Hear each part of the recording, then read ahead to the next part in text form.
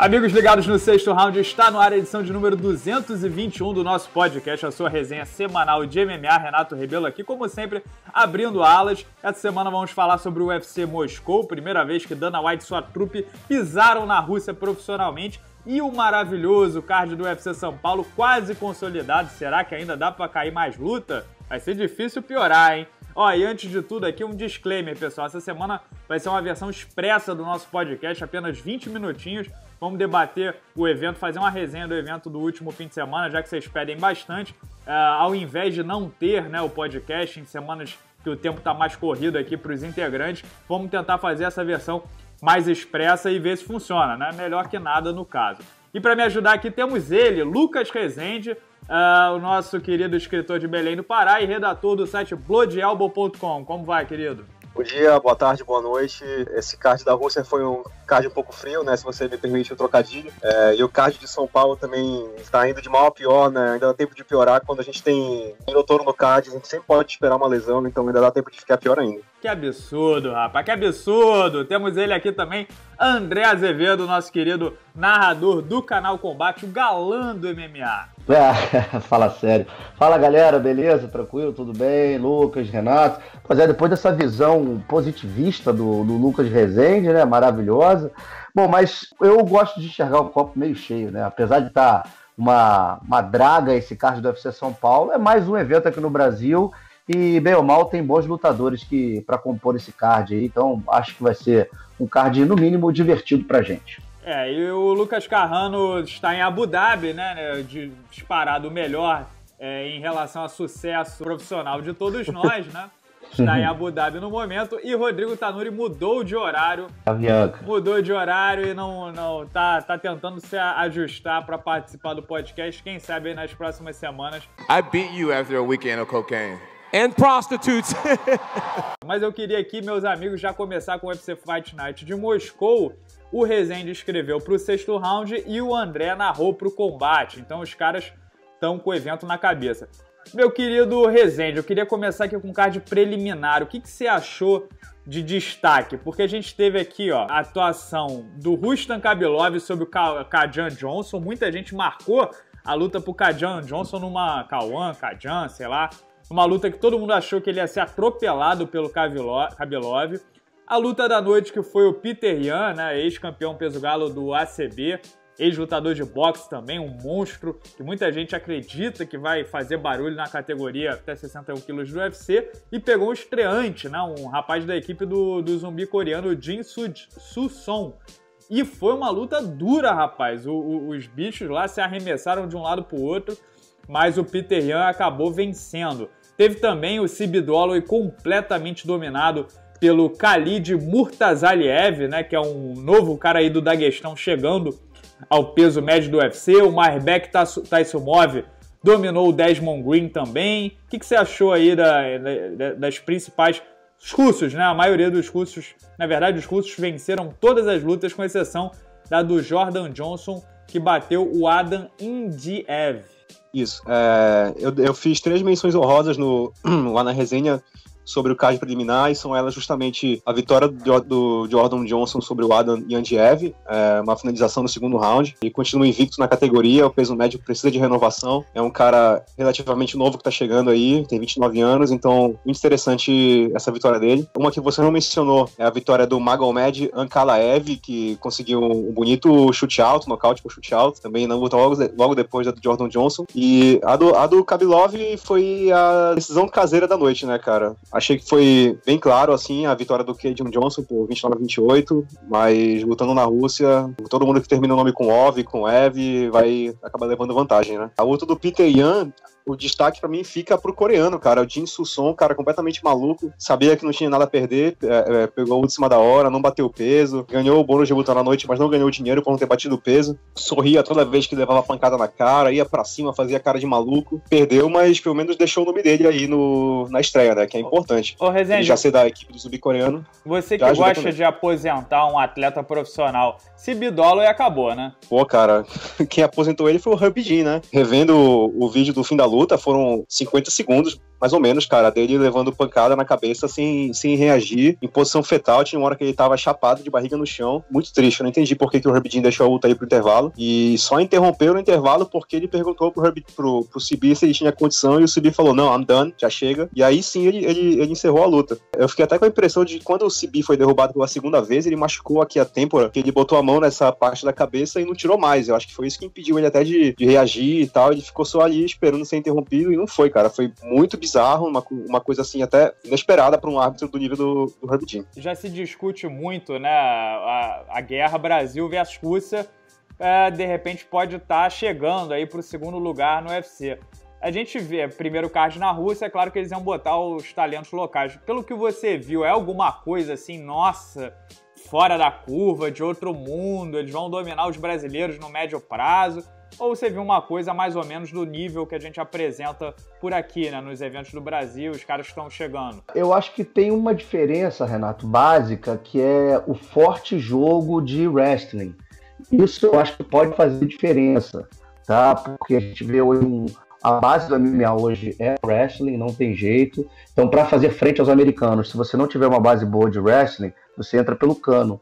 E eles mostram isso, apesar de não terem tanto talento na luta de solo como a gente tem aqui com nossos lutadores, jiu-jitsu mais afiado, eles têm uma transição muito boa e um domínio de solo muito forte. Então, assim, para o médio prazo, acho que pode fazer frente sim com nossos novos nomes. Acho que hoje ainda não, até porque a gente tem um volume de atletas maior, né? A gente tem mais gente ali no, no mix, lutadores melhores. Mas eu não duvido nada que no mais para frente, no longo prazo, esses caras podem tomar o, segundo lugar sim. Até porque eles têm mais investimento esportivo, né? Tem mais condições de, de crescer dentro do, dentro do esporte. Rezende, os pit... não foi uma noite boa para os pitbulls, né? Teve o Thiago Alves que perdeu para o Alexei Kunchenko, né? Um russo que estava ex-campeão do M1 global, estava 18-0 no MMA, já tem 34 anos, estreando no UFC. Estava na cara que ia ser uma luta bem dura, mas foi uma luta mais, mais morna do que o esperado, né? E depois teve o Shamil Abdurakhimov, que bateu o André Arlov, que saiu bravo, falando que tinha que ter é, nocauteado e encerrado a luta antes contra o Arlovski, não dando muita moral para o passado do nosso querido bielorrusso que entrou com o hino da União Soviética, animado em lutar perto de casa, né? Bom, primeiramente sobre a luta do Thiago, existiu muito respeito entre os dois lutadores, foi basicamente uma luta de Muay Thai, é, é, nenhum dos dois procurou as quedas, a não ser bem no final da luta mesmo. Achei que o, o estava um pouco mais inteiro, mas o, o Thiago estava bem também, né? Eu acho que foi aquele grande problema do Thiago que ele sempre apresenta, ele diminuiu o ritmo conforme a luta vai se passando. É, e acabou que o grande, a grande questão foi o primeiro round da luta, que foi o round mais disputado. Mas eu enxerguei a vitória do Kunchenko, é, assim, sem, sem polêmica, e achei que é uma boa adição ao meu, aos meio médios, embora ele seja um pouco mais, é, é, de idade um pouco mais avançada, mas é um cara que tá mais inteiro, pode ser que ele consiga fazer alguma coisa, né? Uma estrear sobre o Pitbull. Apesar do Pitbull também já tá bem além da carreira, é sempre uma boa estreia, né? É, agora o Pitbull também precisa apresentar um pouco mais, né? Teve uma carreira muito cheia de lesões, né? Um cara que sempre tá tentando voltar, acho que ele chegou muito cedo, né? Se cinturão com o Saint-Pierre lá em 2008, talvez já esteja começando a, a, a, cair de rendimento, mas ainda acredite que não, não chegou a hora dele. Então, pensar um pouco aí o que ele vai fazer agora. É, e a luta do Arlovski, cara, eu não sei como é que o Abdurakimov, o querido Abdurakimov, queria nocautear, se tudo que ele queria fazer era abraçar o Pitbull, né, cara? É, é, tudo bem que o Arlovski também leva, leva a culpa por isso aí porque ele permitiu, né? Ele também, obviamente, não é mais o mesmo, tá com quase 40 anos, as mãos já não são mais tão rápidas, é, é, mas ele resistiu, né? Pelo menos ele não foi nocauteado como, como, como ele costuma ser, é, até porque o Abdurakimov, como eu disse, estava mais interessado em, em derrubar e, e usar o ground pound. Mas foi uma luta bem chata, uma luta bem abaixo da expectativa. Foi uma daquelas lutas de peso pesado que a gente só assiste porque tem obrigação mesmo. Não, e outra coisa, o Abdurakimov pediu revanche com Derek Lewis. Uh, de uma das lutas foi da, das mais chatas da história do MMA, né? Aliás, Derek Lewis Sim. tem essa do Abdurakimov, tem a com a com enganou Jesus Cristo, né? Mas na, na coluta principal, André, a gente teve. Olha só, o, o Nikita Krylov, rapaz, ele é um cara que prometia muito para mim, pelo menos, né? Porque você pega um cara que entrou no UFC com 22 anos, como peso pesado, aí perdeu pra um Soa enorme, né? Um cara muito maior do que ele. Depois nocauteou o Walt Harris, enorme, muito maior do que ele. Aí depois foi pro meio pesado e no meio pesado saiu 5-2 do UFC perdendo aí a última luta pro, pro Misha Circunov. Fora do UFC, o cara quatro lutas, três nocautes e uma finalização. Inclusive nocaute sobre o Emmanuel Newton e o Fábio Maldonado, que não é um cara fácil de se nocautear. Aí ele volta aos 26 anos, maduro, uh, cheio de, de, de, pompa pro UFC e é finalizado pelo Jan Blakovic. É uma água no chope aí do Krylov ou o Jan Blakovic, que já vinha de duas vitórias consecutivas, é realmente um bom valor. Perdão, André, o Blakovic vinha de três vitórias consecutivas, a última sobre o Jimmy Manua. É, exatamente. Emplacou agora a quarta vitória, o, o polonês. Cara, eu achei, eu também concordo contigo, Renato. Eu acho o Nikita Krylov um excelente lutador, um talento para essa categoria, jovem, completinho, mas sinceramente estava irreconhecível naquela noite de sábado lá na Rússia, né? Amanhã, aqui, tarde aqui pra gente, no Brasil. Não apareceu para lutar. Não sei se ele sentiu a pressão da, de lutar na Rússia, sinceramente não sei. Mas o, o Barrovic, que não é nenhuma sumidade, tá, tá bem, né, cara? Tá bem na, na, na, categoria, tá no melhor momento dele na carreira, quatro vitórias seguidas. Eu achei muito mérito do Borrovic, que não tomou conhecimento do Krylov, mas também muito abaixo da média o Nikita. Impressionante, eu achei que ele era o, que ele ia chegar e ia vencer até com certa facilidade o Borrovic, mas tá de parabéns, né, cara? E ali você falou da Show, que foi o que o, o Bruce Buffer cantou, mas ele aplicou um katagatame, cara, meio de lado, né? Com a guarda fechada é, assim de lado. Meio... Não foi, não foi um, um, Eles deram um Darth Choke lá, mas o Darth Choke é completamente diferente, né? Você passa o braço por debaixo da axila, um triângulo de mão invertido. Da Choke foi o que o Wooden fez com o Darren Till. Exatamente, o triângulo de mão invertido, saindo ali debaixo da esgrima, né? Na contra-esgrima. Parabéns aí pro Barrovic. Agora, olha onde a gente chega, né, cara? Categoria dos 93 quilos o polonês é o terceiro ou quarto da divisão, é impressionante. É, um, é uma draga essa categoria até 93 quilos, que em outros tempos já foi sensacional, né? Ah, vamos ver, vamos ver como é que vai vir o Nikita para a próxima luta, né? Tomara que não tenha sido, é, tenha sido só um lapso ali naquele momento, porque esse cara tem muito o que dar ainda nessa divisão é... 93. Não sei se foi bem um lapso, porque o, o Nikita, cara, ele tem cinco derrotas por finalização. Eu acho que ele precisa corrigir urgentemente o jiu-jitsu defensivo dele. É, é, eu acho que é uma coisa que ele não se preocupa muito, e aí quando ele se dá por si, acho que se garante demais, assim, né? E aí não liga muito pra defesa, mas aí já vem, sido, já vem sendo finalizado há um bom tempo. Então acho que é uma coisa dele começar a pensar em corrigir durante os treinos também. É, falando em a que ponto a gente chegou em renovação, agora na luta principal, o Alexei Olenik finalizou o Mark Hunt. Rapaz, chegou um novinho no top 10 do peso pesado do UFC. Renovação a todo vapor, 41 Uma batalha anos. de promessas, né? É, o Alexei Olenik que bateu o Mark Hunt, que era o oitavo do ranking, né? Certamente vai entrar na lista. 69 lutas profissionais, 45 vitórias por finalização. Só de Ezequiel, o cara tem 20 finalizações na carreira. Ele é russo de Moscou, estava com a torcida ao seu lado.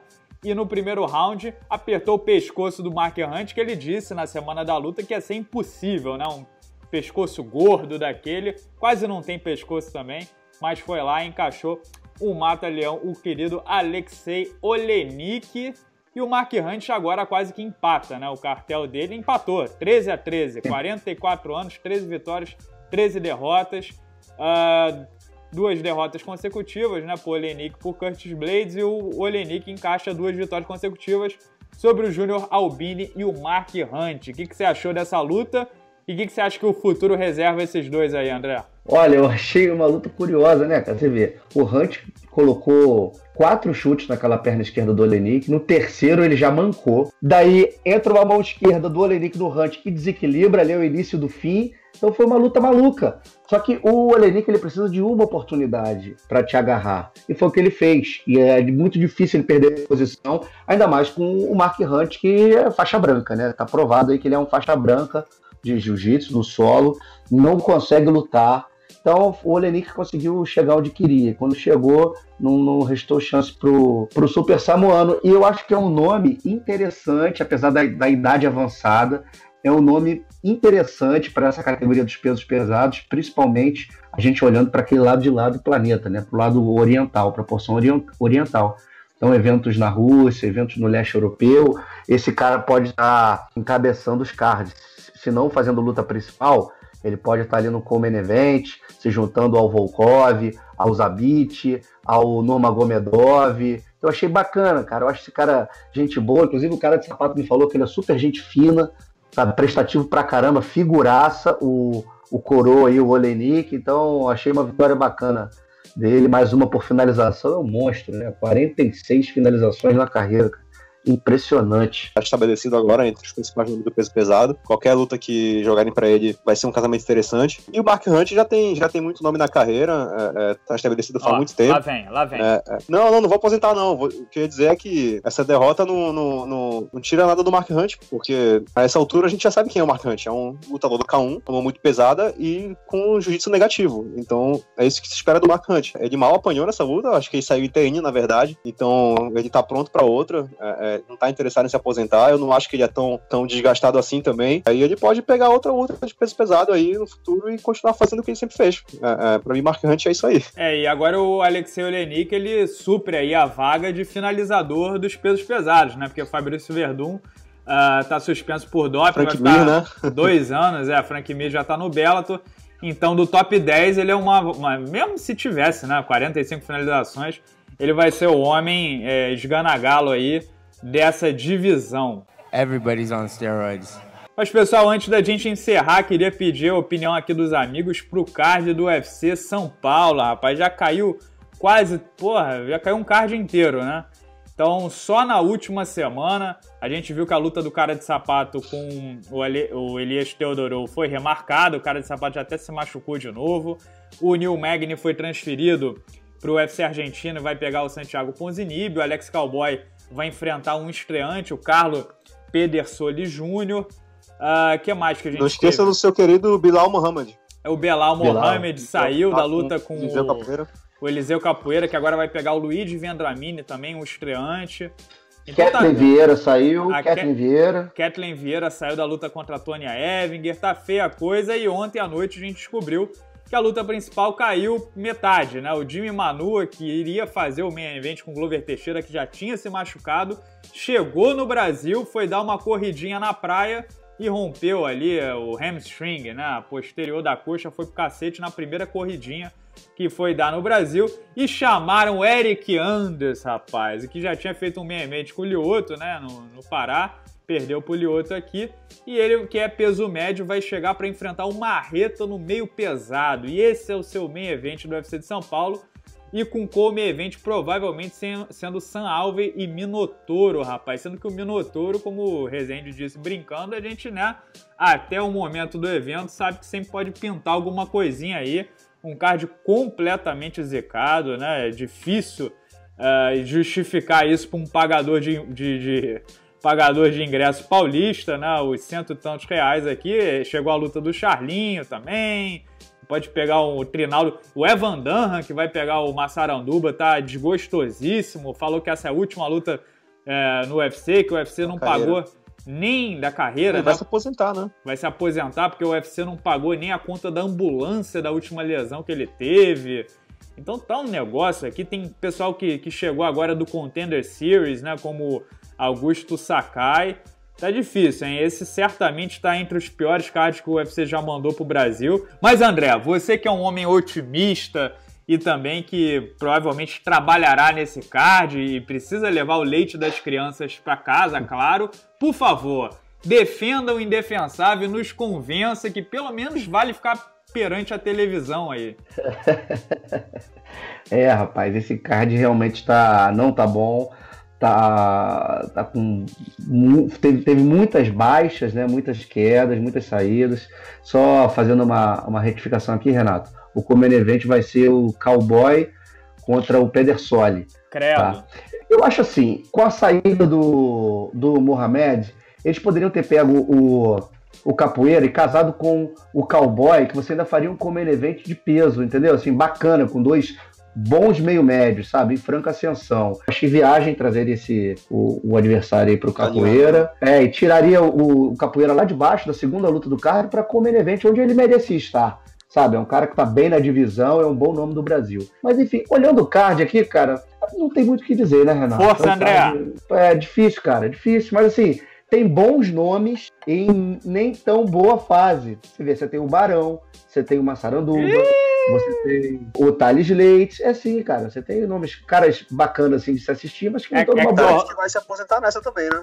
É. Hector Ah, Lombard isso. tá em boa fase também, né, André? Ah, excelente, excelente. Esse aí, eu, esse- essa eu tô com o Rezende, cara. Ele tem que aproveitar o bonde aí e pendurar as luvas também, porque esse cara aí, o, Lom- o Lombard já deu o que tinha que dar. Então, assim, é, falando um pouco do- da luta principal, o Thiago Santos, ele sai de um cara legítimo 93 quilos, nocauteador, pra um peso médio, canhoto, wrestler. Então, assim, ele leva a vantagem por um lado, que vai estar lutando com um cara da, da categoria dele, não vai estar muito maior que ele no dia, no sábado, no dia 22, mas é um jogo completamente diferente, né? Então, eu acho que o Thiago vai para nocautear o Enders. O Enders é bom na transição, é um cara durável. A maioria das suas lutas vão para para decisão. A maioria das lutas não, mas ele é um cara que só tem uma derrota e foi justamente na decisão contra um Lioto. Então, não sei, eu acho que não, não, não dificulta muito pro Thiago, não. Acho que até melhora para ele, sabe? Porque o Manu é um cara bem perigoso em pé, mãos duras. E vamos ver, né, cara? Vamos nessa, vamos trabalhar. Vou estar do lado do octógono ali, vamos para dentro. Acho que no fim das contas, galera, não é um card primoroso, mas é um UFC aqui no Brasil, né? Com, com nomes brasileiros. Eu acho que, por mais que não seja, não vai estar assim maravilhoso, acho que vale assistir. E a gente torce para que os caras saiam na porrada e deem um bom espetáculo pra gente, né? Não seja aquele marasmo de, de decisões, lutas chatas. Então, assim, se porrada comer, tiver um monte de nocaute, finalização, já valeu a pena. Muito bem, André. Defendi? Matou Consegui? a pau, matou a pau. Vocês sabem que eu sou um homem gentil, né? Eu não. Eu, eu levanto a bola para os meus amigos cortarem, mas eu faço perguntas proporcionais a cada é, posição de cada pessoa. Agora eu vou perguntar pro Resenha. Resenha, dá pra cancelar esse card? Cara, é, é, dava, mas sabe que o UFC faz de tudo pra não cancelar o card, né? Daí a gente fica com isso aí. Não, eu tô brincando, É, porque é é. sacanagem. Tem muita gente aí que tá chegando, que vai ganhar seu dinheiro, que tá trabalhando, né? Direto e indiretamente. Cancelar é ruim pra todo mundo, claro, né? Mas o card já, já não era daquele escolha, né? E o baque que ainda se levou virou um remendo, né, Rezende? É, eu tenho um destaque positivo, na verdade. Você? É, uma das poucas lutas que tenho, é, eu tenho uma das poucas lutas que não foi prejudicada foi a do Serginho Moraes contra o Ben Saunders, cara. É, é, o Serginho Moraes é um faixa preta de jiu-jitsu legítimo, o Ben Saunders é um striker, tem um, um confronto interessante aí, mas ele também é um, um- um- faixa preta de jiu-jitsu criativo, né? Ele venceu com o homoplata, é um cara guardeiro, é, é, então eu acho que é, o Serginho tem trabalhado com o André Dida, né? Tá melhorando a trocação dele, então eu acho que pode sair um combate interessante aí dessa luta. Esse é seu destaque positivo, Rezende? É assim que você quer convencer as O que, que pessoas? eu posso fazer, cara? Lamentável, hein, Rezende? Pô, mas aí a gente tem que trabalhar com o que a gente tem, né? Mababo, how you say his name? Fabio Maldonado. Fabio Mababo. É, tá complicado defender esse card, mas é isso. Dia 22 de, de, de setembro, no ginásio do Ibirapuera, em São Paulo. Eu vou me despedir aqui dos meus amigos. Rezende, um grande abraço. Essa semana, seu grande rival, Lucas Carrano, não está entre nós, mas mais suave pra você, né? É, você vê que o podcast fica com esse clima mais agradável, né? Quando tem a ausência de certas pessoas. É, mas, pô, é, é, a gente aí veio de um evento mais ou menos na Rússia, esse de São Paulo, o papel tá ruim, a gente torce pra que seja bom, mas pelo menos a gente fecha o mês com Conor McGregor e Habib Nurmagomedov, né? Então a gente fica com esse, essa nota positivista aí no final. Maravilha. Meu querido André, um grande abraço pra você e boa sorte aí na transmissão desse UFC, do, é, UFC São Paulo, né? Que já é próximo sábado. Isso, verdade, verdade. Obrigado, Renato. Valeu, Lucas. Um abraço, abraço a todos que nos ouvem aqui no podcast. Vamos nessa, né? Vamos para esse bravo UFC São Paulo. Vai ter uma mudança, né? Nesse, nesse UFC, o Rods vai narrar pela Rede Globo. Eu vou ficar do lado do octógono. O Protinha trabalha ali com o Luciano e com o Marcelo Alonso no- na transmissão toda. E a gente vai estar levando todos os detalhes para a galera que, que, que assina o canal Combate. E para os que não assinam também, né? Aquele trabalho com aquele link, link esperto, vão estar conferindo com a gente a transmissão. Que isso, Tamo André? Que junto. absurdo, André. Incentivando aí. Eita! Meus amigos, um grande abraço. Não, agora vai, vai pro ar. Valeu, galera. Valeu, meus amigos. Um grande abraço a todos. Fiquem ligados, se inscrevam aqui no canal do Sexto Round. Semana que vem volta a versão estendida do podcast. Vai ter resenha na maioria dos outros, vi- dos outros dias também. Abraço a todos e até a próxima. It's all over!